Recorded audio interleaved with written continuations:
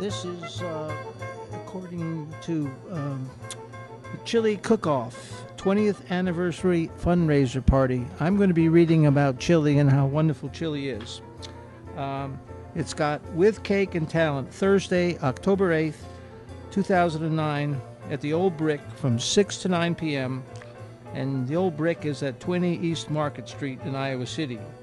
And this is a fundraiser for uh, um, PATV Channel 18, the show you're watching. And I'm going to read from Chili Nation, a book about chili and full of recipes to get you interested in chili. From the time Christopher Columbus mistook Hispano- Hispaniolan capsicums for form of black pepper plant and named them accordingly chili peppers, they've had an uncertain identity. Even experts, experts aren't clear about what they are. Botanists think of the chili as a berry of the nightshade family, like the tomato. Agronomists consider it a fruit. New Mexico has declared it an official state vegetable. Spelled at least three different ways C H I L L I, C H I L L I, and are alternatives. Chili is the word that refers to the fruit of a plant, whether fresh, dried, crushed, or powdered. Chili refers to the dried spice mix- mixture and the one dish meal, so chili can stand for a lot. Chili Nation contains recipes for chili, the dish, but each of these recipes contains chili powder, or chilies, the fruit of capsicum plants. It is crucial to note that chili powder, an ingredient in many of these chilies, varies tremendously in flavor as well as heat. We strongly recommend getting a high quality chili powder from a spice specialist or mail order source. If dealing with a company that features chili products, you will find they make several different chili powder blends that vary in heat and flavor. Get some of each and taste them to see which you like best for various purposes. Here are thumbnail portraits of the types of chilies used most often in this book. Each is accompanied by a rating in Scoville units, which gives a good approximation of its hotness. Chilies vary considerably in this respect from crop to crop. A rating of zero is totally not hot. Green bell peppers, for instance, are zero. The scale goes to 300,000 units for the habanero peppers, as hot as it gets. There's the Anaheim chili, generally quite mild. Anaheim is a large, thick fleshed pepper with a sunny vegetable flavor. And that's at 1,000 units, which is mild.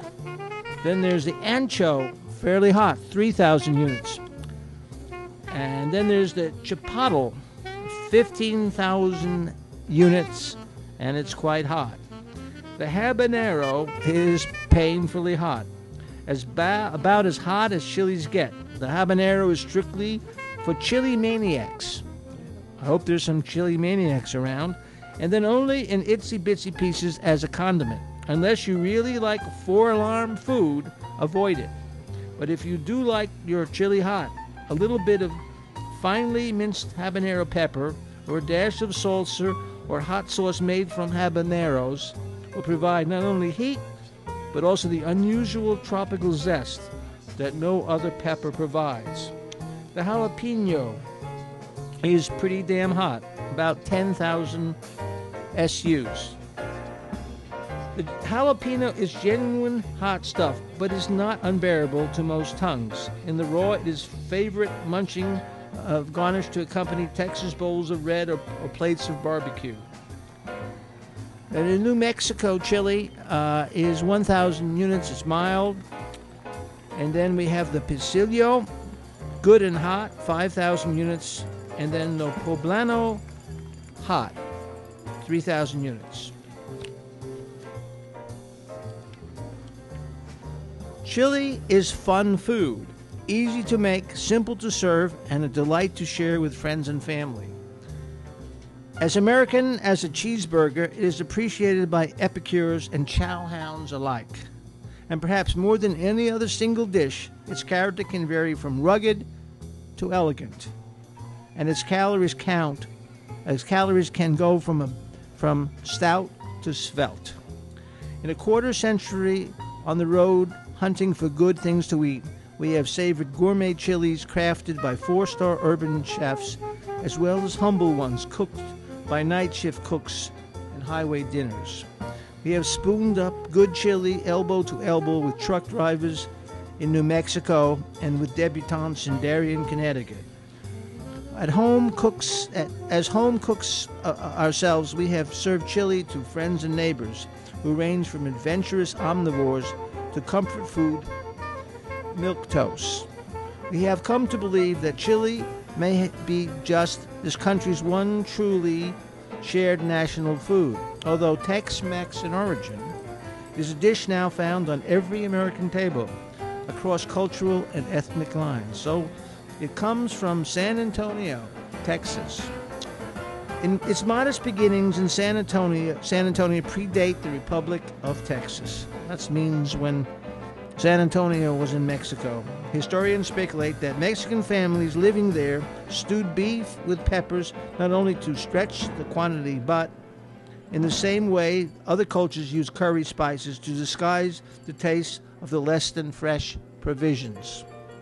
After the Civil War, chili became identified with the chili queens of San Antonio's Mercado, that's the, the merchant area, as anything goes outdoor bazaar where Tex- Texicans could dine on tamales, enchiladas, and bowls of chili con carne. The queens were colorful women in festively embroidered peasant blouses, and mostly most contemporary accounts make a point of that their virtue, despite a reputation for flirting with customers. Still, by the time the chili queens and their wares were banished for, for health code reasons in 1943, Texas style chili had developed an enduring reputa- reputation as a red hot meal at the edge of dining respectability.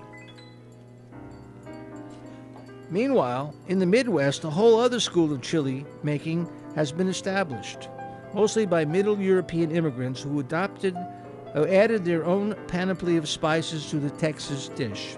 And in several cities, it was uh, reconfigured entirely to include beans, spaghetti noodles, and oyster crackers, all unheard of in chili con carne south of the Red River. Typically, Midwestern chili was served in open all night joints, like the one Edward Hopper depicted in Nighthawks, and its image was as food for those of plebeian taste. Chili's reputation has risen tremendously in recent years. It is no longer looked down on as strictly greasy spoon fare a fact that became apparent to us in the early 1990s when the New Yorker magazine assigned us to write a long piece about Chili's new respectability, even Chili's trendiness. We Americans have become proud of our best blue collar chow, witness the apotheosis of barbecue and buffalo chicken wings. And Southwestern food in particular has found recognition as a rich culinary heritage.